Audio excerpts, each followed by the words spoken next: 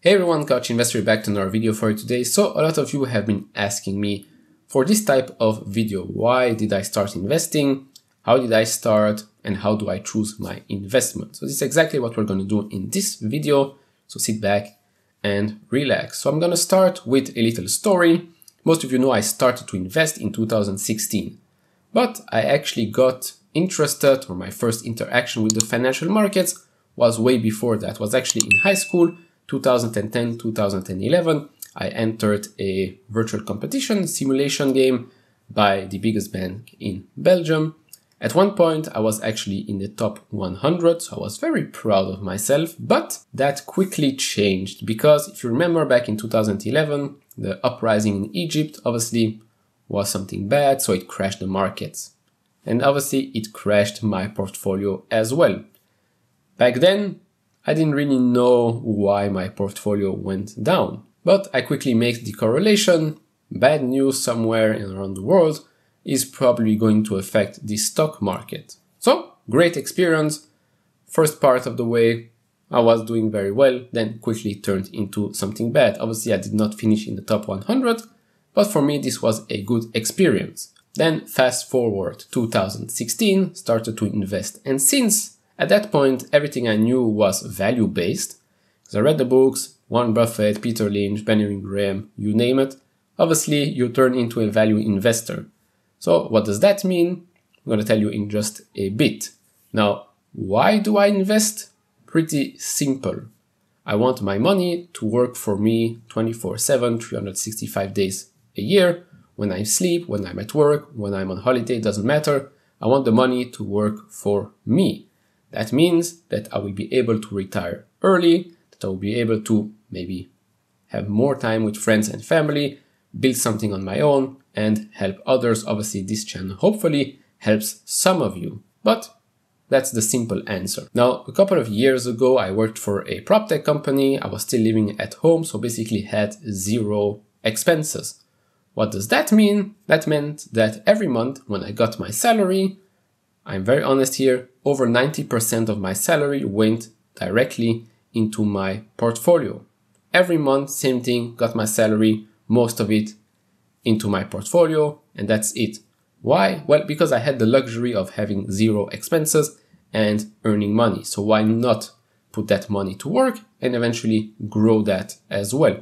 I understand that not everyone does have that luxury, but since I'm telling my story here, this is what I did. All right, so now how do I choose my investment? So before when I started, obviously I did not have the tools I'm using today. If I'm being honest, I did not use YouTube, I did not use Google, I barely used the Motley Fool, and I didn't have Stockcard, which by the way is also the sponsor of this video. What is Stockcard? Well, basically Stockcard is a website where you can go and follow various portfolios, like myself, like Brian's, both Brian's, but let's focus on this channel. I will make a portfolio for this channel, which means that every time I cover a company and I feel it's time to add, I will be adding to the channel's portfolio. That way we can track our performance throughout the year. You can also follow my other portfolio there. It's free and open to everyone. Now, if you want to use Stockcard for your own due diligence, for your own investing research, which by the way is a very, very, very good platform to use. If you want to unlock all the premium features, you can use my code Couch Investor to go VIP mode. And trust me, there is a lot, a lot of information there on most, if not all companies.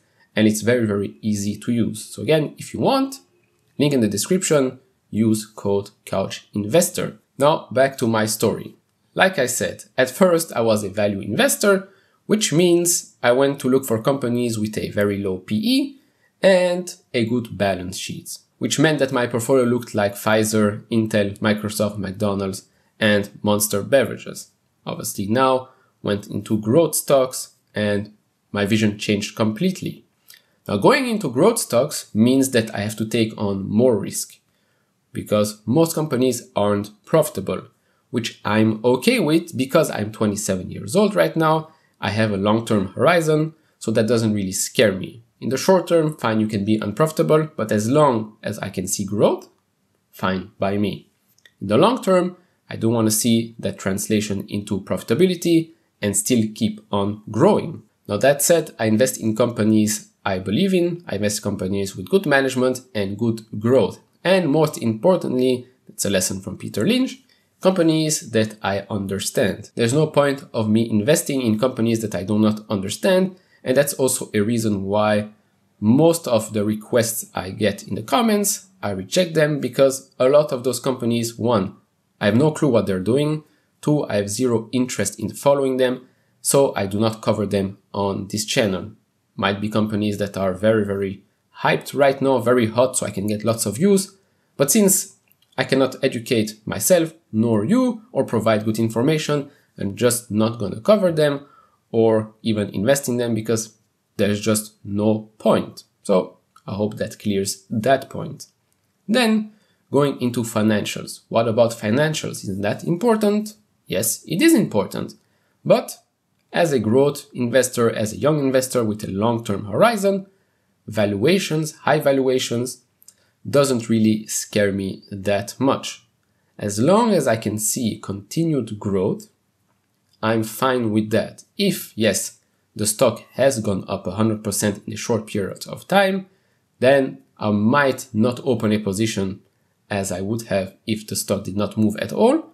I might open a tiny position and work my way up and adjust accordingly along the way. And it's especially important now that a lot of growth companies aren't very profitable, right? Back when Tesla went public, had the same question there. How can you convince investors to invest in your company if you're not profitable? So take it from the man himself. What can you say to reassure investors that might have questions about the potential profitability here? Well, yeah, we, we do often get that question.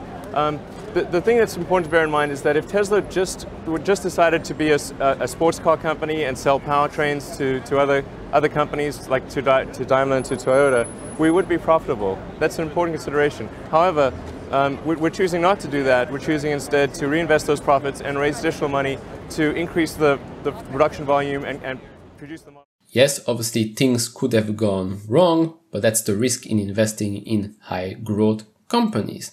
Now, last couple of points. I rarely sell during crashes. I almost always add to my position during a crash. Investing is simple. To me, at least, it's very simple. Those that want to convince you and say that it's not simple are probably those that earn a lot of money by taking care of retail investors. Investing is simple. I'm not a genius. I'm not a millionaire. Far from it. I'm a regular guy. And if I can do it, so can you. The only thing you need is patience and discipline. Usually both of them work hand in hand. And yes, I know not a lot of people have the discipline to be patient. But if you want to go into investing, if you want to grow your wealth, then this is something you will need to learn. And that's it. That's all I have to say. If you have any questions, leave it down in the comments below. If you like this type of videos, leave it a thumbs up. If you're not subscribed to this channel, hit that subscribe button. As always guys, take care, stay safe and see you all in the next video. Bye bye.